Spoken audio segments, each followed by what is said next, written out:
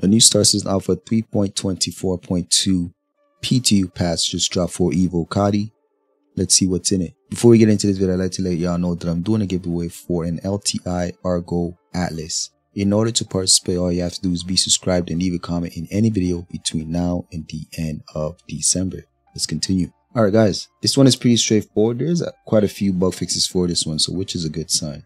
So test and focus remains the same as always. Uh, stability, bug fixes, vehicle, HUD, and MFD rework, character, uh, creator DNA faces, uh, beards, tattoos, and hair, new acidic and rock caves, flight tuning and archetype balances, and the new Arena Commander updates. So they also made a few updates uh, under features and gameplay. Uh, for characters, DNA heads visual polish pass has been done. Under gameplay, they did a star map text drop down shadow polish um, and also a freight elevator kiosk adjustment transfer wording. Okay. Also, ships and vehicles, MFD and HUD polish pass has also been done. It says here they made the velocity always show as meters per second and they've added a cooldown indication to quantum UI. They've also added a new reticle and targeting lock materials.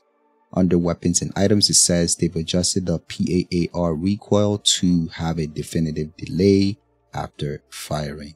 Interesting. Can't wait to use that uh, weapon. Hopefully it's also available to those that didn't purchase it through the goodies pack. Okay, so I just want it to be available in game if they're releasing it. Yeah, so there's a few buffs for this one. They're fixing MFD UV geometry in the turret is not suitable for the new MFDs.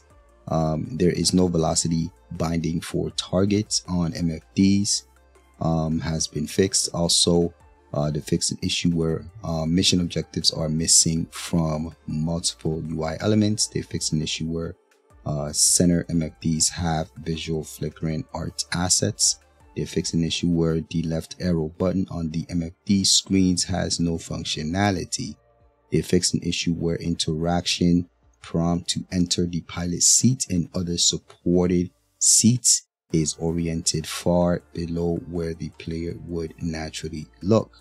They fixed an issue where Tetra Twitch uh, Paccio is not visible to the player and cannot be interacted with. They fixed an issue where switching DNA to review clutters faces with the face sculpting uh, control points. They fixed an issue where all vehicle clips through the planet terrain when player exits the pilot seat. It's an interesting bug. They fixed an issue where the terrapin ramp is naturally missing when fully closed and viewed from the interior. They fixed an issue where the pilot CMFD is blank and uh, is missing UI. So now this is for the Anvil Carrack. They fixed an issue where the ship does not have an annunciator visual in the cockpit. This is for the Buccaneer. So they fixed the same issue for the glaive and the scythe as well.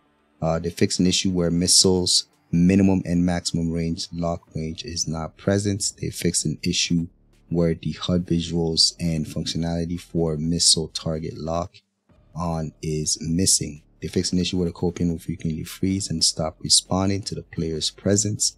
They fixed an issue where jump drive module is misplaced in the ship's interior. They fixed an issue where there's a replace me texture present across multiple areas of the ship. So now this is for the Spirit Glaive. They fixed an issue where ships' weapons are still firing even when overheated. They fixed an issue where there is an enter seat interaction prompt next to the refueling terminal on the bridge. Now this is for the MISC Starfarer and for the MISC Freelancer, they fixed an issue where there is a proxy blocking the path to the cockpit. Along with this is three client crash fixes. Before I let you go, I'd like to let y'all know that my organization, Phase One Industries, is now recruiting new and veteran players. If you are interested, you can find our Discord in the description down below. Don't forget to leave a like, subscribe. I'll catch you guys on the next one.